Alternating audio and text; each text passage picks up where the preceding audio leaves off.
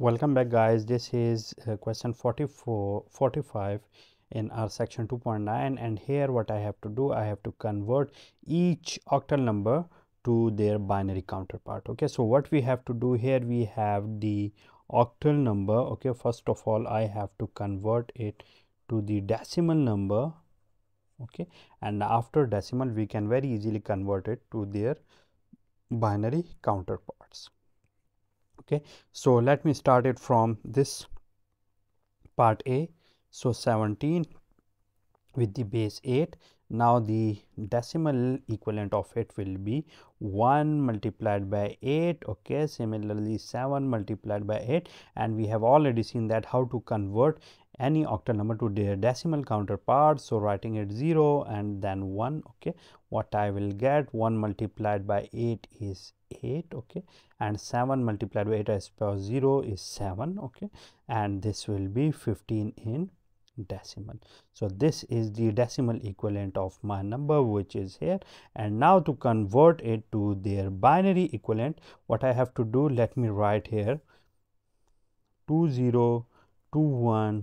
0 2 2 2 2 3 2 4 2 5 2 6 and 2 7 okay? So now writing uh, this is 2 response um, 4 so this is 16 so this is higher than this. So 8 plus 4 is 12 plus, uh, 2 is 14 and plus 1 is 15 okay? So that is what that is the binary equivalent of my number which is now 17 and the binary equivalent of 15 is now 111 okay? So the binary equivalent of it is 1111 in the binary okay? So that is the answer of part a. Similarly uh, now solving part b of my question what i have to do? I have to write here what i have to do i have to again use the same procedure what i have used here okay. So for part b here i have here 26 in octal. Okay. This is in octal. Now to convert it to the decimal what i have to do 2 multiplied by the base plus 6 multiplied by the base where this 2 is this one while 6 is this one which is mentioned here okay? So starting from 0 and then 1 here and let me simplify it what i will get. This is 8 multiplied by 2 is 16 plus 6 multiplied by 1 because 8 as per 0 is 1 so 1 multiplied by 6 is 6 here i will get 22 in the decimal okay so this is the decimal equivalent of my number.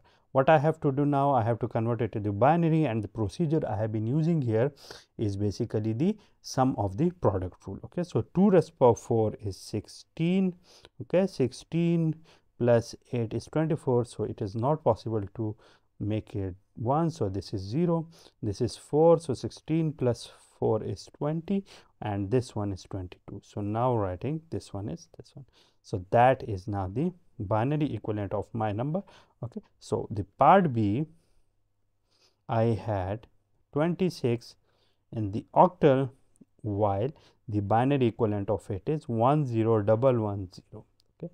So that is the binary equivalent of my number. Similarly now using the same procedure for 145 in the octal as well okay. So now let me use the same procedure. This is uh, part c. And in part c i have 145 in octal okay uh, converting it to the decimal. So 1 multiplied by 8 plus 4 multiplied by 8 plus 5 multiplied by 8 okay starting from 0 1 and then 2 so what i will get here this will be 1 multiplied by 8 8 is 64 okay? 4 multiplied by 8 plus 5 multiplied by 1 okay? So here i will have 5 plus 32 plus 64 okay? So how much would it be? So this is 32 plus 64 96 96 plus 4 96 plus 5 is 101 okay? So that is the decimal equivalent of my number. Now uh, to find the binary equivalent of my number this one what I have to do now let me write their weights here uh, so 2 raised power 6 is uh, 64 okay? This is 2 raised power 5 is 32 okay? This is 32 this is now 4 32 and uh, this is now 1 is left so this is 1 okay? So this is now the binary equivalent of my number which is 145 so the this is part c. So the binary equivalent of 145 which is in octal is now 0 1 1 0 0 okay and 101 this is the binary number in my number systems okay? So we have solved these three questions part a part b part c so uh, the part d procedure i have followed here will remain same for part d part e and part f as well. So give it them a try and you will see that it is quite convenient and easy method for converting any octal number to their binary counterparts okay? So that's it for today and i will see you with some more questions like this one in our upcoming video. Thank you so much and see you soon